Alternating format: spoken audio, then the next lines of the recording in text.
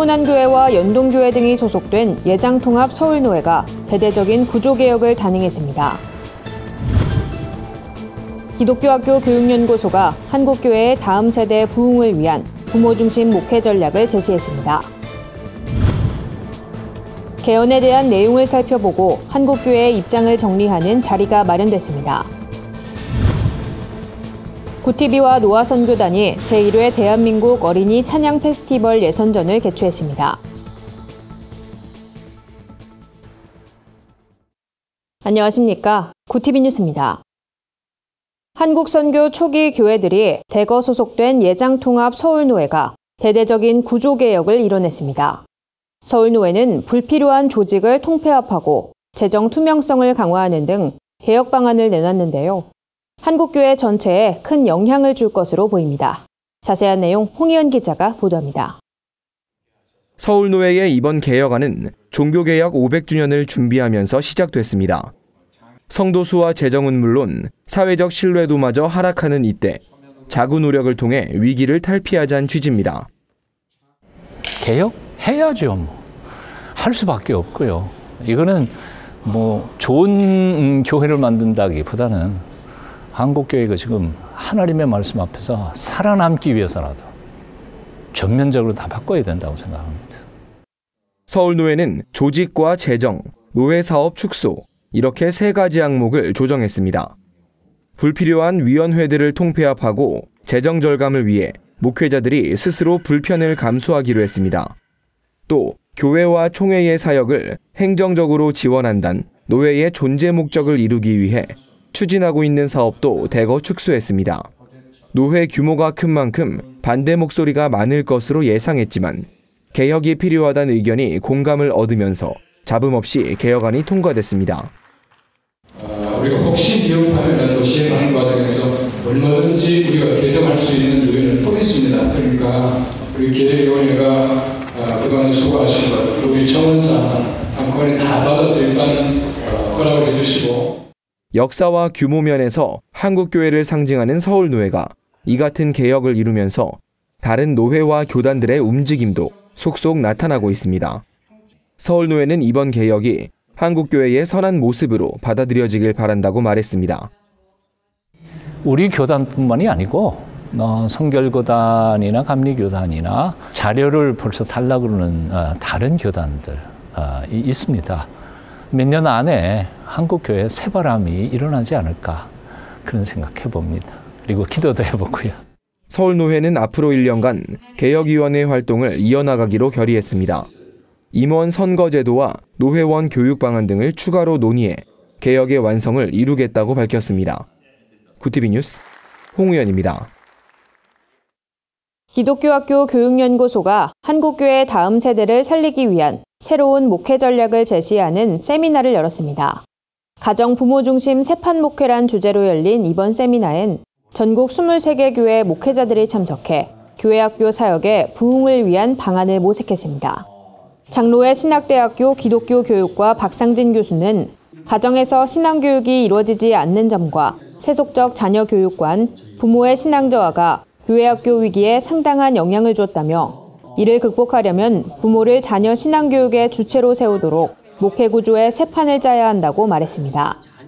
박 교수는 이어 부모가 기독 학부모로서의 정체성을 분명히 하고 기독교적 교육관으로 자녀를 양육해야 한다며 이를 위해 교회가 부모 중심으로 교구를 편성하고 교회학교 부서와 연결해 가정이 자녀 신앙교육의 터전이 되도록 도와야 한다고 덧붙였습니다.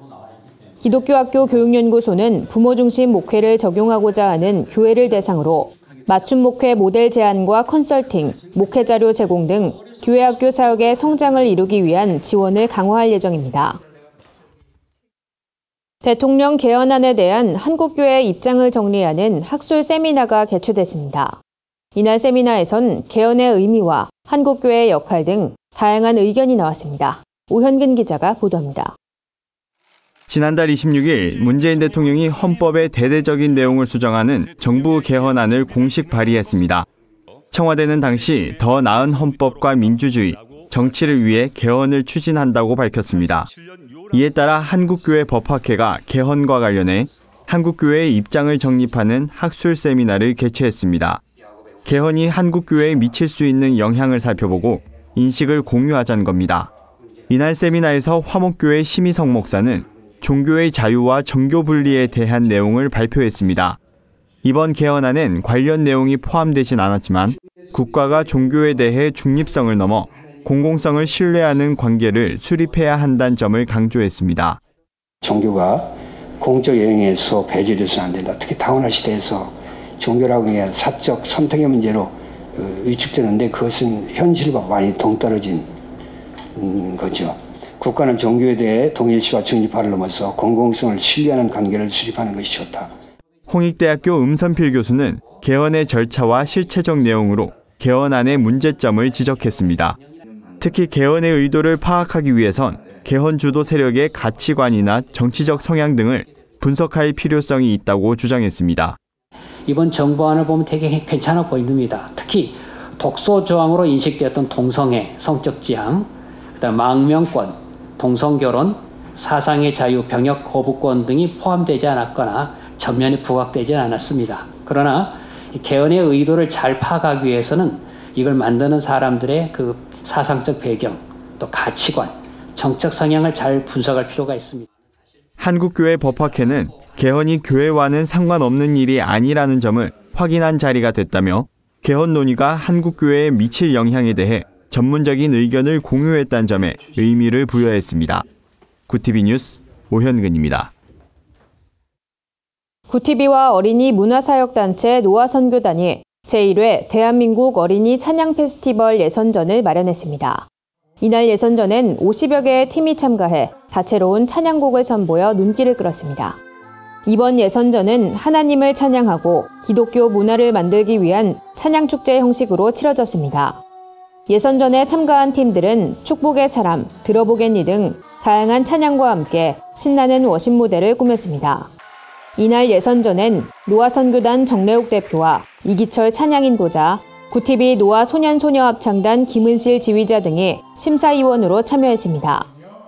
이틀간 진행된 예선전을 통해 선발된 12팀은 5월 26일 정릉 배달교회에서 진행되는 본선에 참가할 수 있으며 본선 진출팀은 노아 선교단에서 준비하는 새로운 찬양 음원에 참여하게 됩니다. 본선에선 대상 한 팀, 금상의 노래와 댄스 각각 한 팀, 은상 한 팀, 동상 두 팀이 선정될 예정이며 시상팀은 노아 명예단원으로 임명됩니다. 정래욱 대표는 이번 찬양 페스티벌을 통해 많은 어린이들이 건강한 기독교 문화를 만들어가는데 앞장서길 바란다고 말했습니다. 오늘의 사회 이슈를 오현근 기자가 종합해드립니다. 오늘의 이슈 포커스입니다.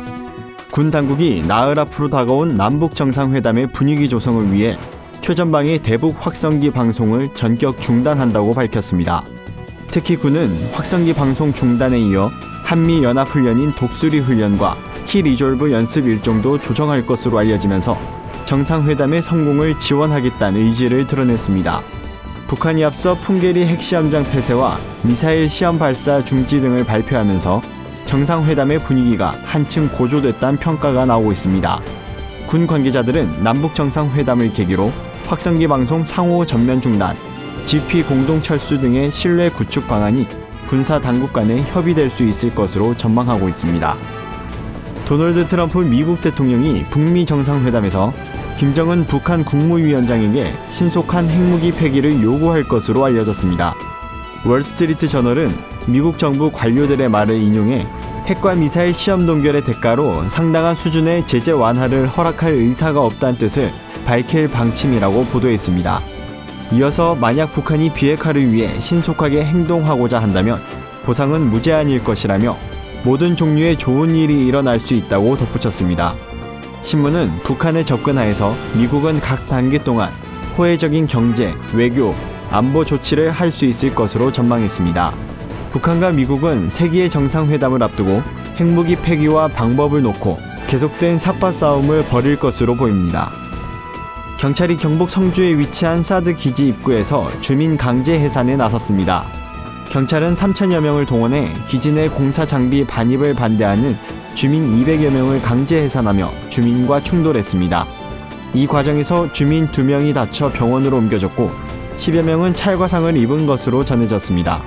주민 측 대변인은 이 사태로 몰고 간 것은 결국 국방부이고 모든 책임도 평화협정을 앞둔 시점에 무리하게 사드기지 공사를 강행하는 국방부에 있다고 밝혔습니다.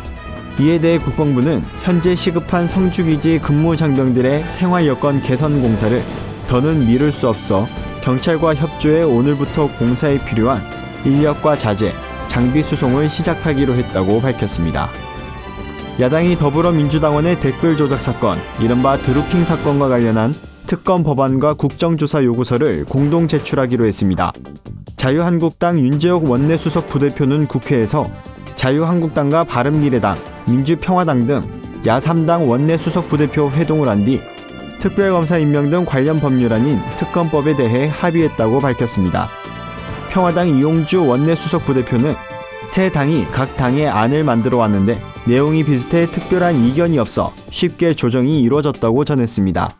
리얼미터의 설문조사 결과에 따르면 드루킹 사건 수사 주체에 대한 국민 인식은 특검 도입보다 검찰 수사로 충분하다는 의견이 더 많은 것으로 나타났습니다. 구티비 뉴스 오현근입니다. 주요 단신입니다. 명성교회 교인 250여 명이 세습 반대 입장을 천명해온 예장통합 최기학 총회장을 규탄하는 집회를 열었습니다. 이들은 최 총회장이 심우하는 상현교회 앞에서 사퇴를 촉구하는 플랜카드와 피켓을 들었습니다. 또 최 총회장이 서울 동남로의 선거 무효 소송과 김하나 목사 청빙결의 무효 소송에 불법적으로 개입하고 있다고 주장했습니다. 한편 오는 27일 김하나 목사 청빙 결의 무효 재판을 앞두고 기독법률가회는 성명을 발표했습니다.